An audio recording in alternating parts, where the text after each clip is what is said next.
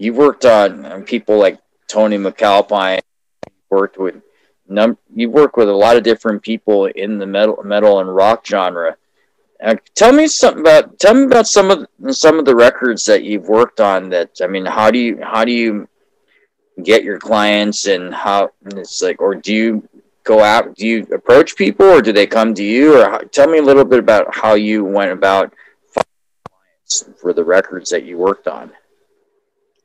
Can we pause for a second? Sure.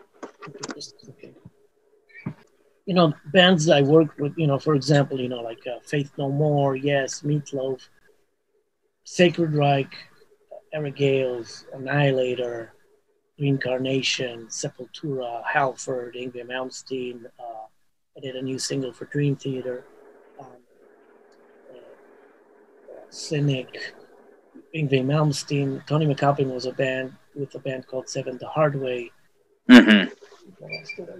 Armored Saint, Sabaton, and wow, there's a bunch of uh, Ill Niño, Starset, and Dokken.